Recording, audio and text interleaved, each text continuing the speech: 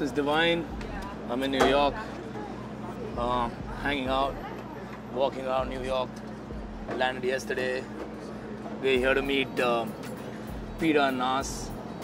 And yeah, we made it.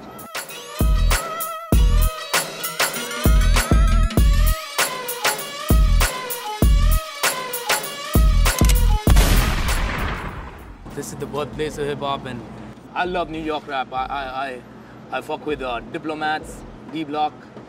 You know, that's that's the kind of shit that I, I grew up to.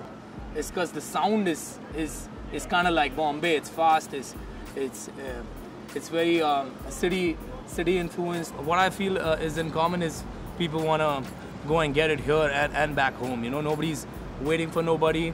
It's uh, it's a fast running city and. Um, it's the same back home. Um, everybody's trying to hustle, everybody's trying to get their bread, and uh, I think that's what's in common. I think both the cities have one thing in common. It's it's uh, if you hustle in these cities, you can survive anywhere in the world. When I thought that I could I could write in English, when I when we uh, didn't even know English properly and we didn't speak in English at that time.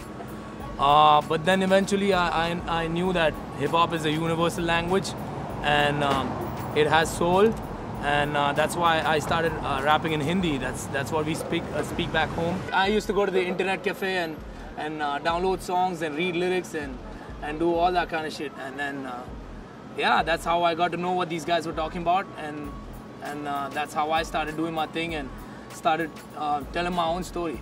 Coming here on this side, or meeting Peter and going to the Mass Appeal studio, it's it's it's it's a win for us, bro. Like it, it, we never imagined this. This shit uh, is unreal. It's like straight out of a movie. NY से Mumbai, Divine, Gully Gang, Mass Appeal.